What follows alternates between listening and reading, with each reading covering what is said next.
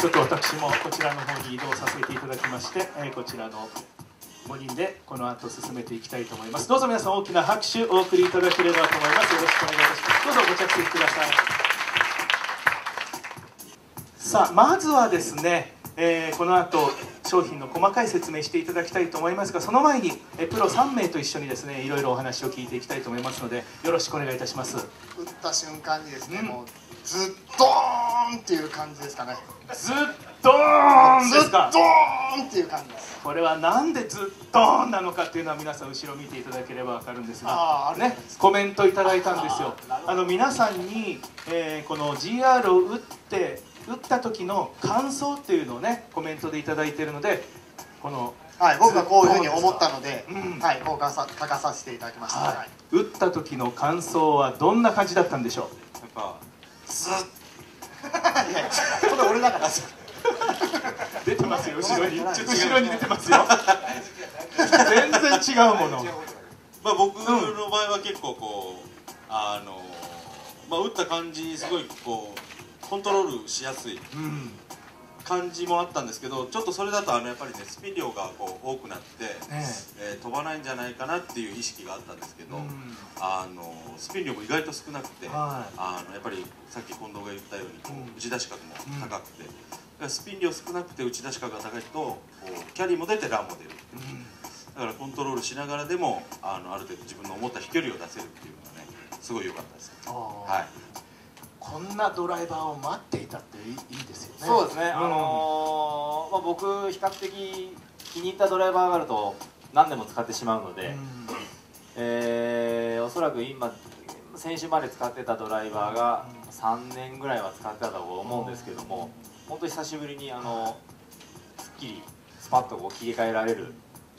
ドライバーに出会えたなっていう印象がありますね。なぜ飛ぶかということをちょっと簡単に説明していきたいと思います今回ですねあのクラウンのちょっと表からは見えないんですけども裏側裏側の方に、えースリットを刻んでます。それと、えーソール側のフェースとソールのところに、えーまあ、リブを入れてまして逆にソールの方は動かないようにしてると。でこれであのボールが当たった時にですね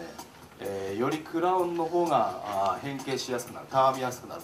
ということで、えー結果的にインパクト時に打ち出しを上げるといった効果を持ってます。ここが変形して、えーロフトがつくといったドア構造になってます。飛びの3要素ということで、えー打ち出されたボールの初速スピン量打ち出し角で基本的に飛距離は決まってしまうと、まあ、こればっかりではないんですけどもそれと先ほど来お話ししているこの初速っていうのは、えヘッドの反発のルール規制がありますんで、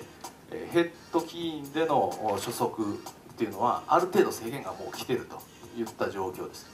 で何をするかというと今回先ほど来お話ししている通りパワースリットっていうのはこの打ち出し角を上げる方向にしてます。で打ち出しを上げてあげると、えーまあ、同じ初速のパワーを持ってて打ち出しを上げると飛距離増につながるといったあ構造になってます。でこういうこの新しい GR のようにですねインパクトした時に、えー少しロフトが寝て高く打ち出すっていうことができると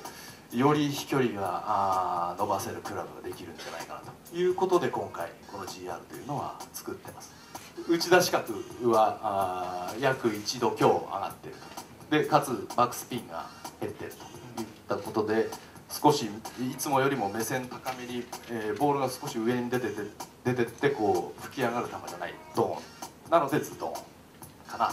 というふうに解釈しています。でもこれ見るとやっぱり、うん。あのこんちゃんの近藤のはやっぱり初速がほとんど変わってないのに、うん。やっぱスピン量とのそのお打ち出し角の違いで本当に飛距離が伸びてるなってのが分かりますよね、うん、わかりました。岩本部長ありがとうございました。大きな拍手をお送りいただければと思います。えー非常に手応えを感じているクラブなので、えーまあプロアマ問わず、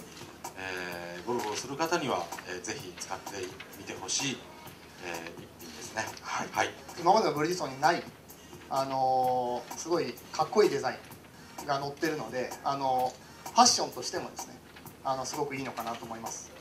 多分このクラブを使うとその高弾道でその低スピンのを実感できると思うんですよね。だからそのやっぱり、えーそういった意味ではあアマチュアの方の方がもしかしたら、えー実感体感してもらえるかもしれないですね。はい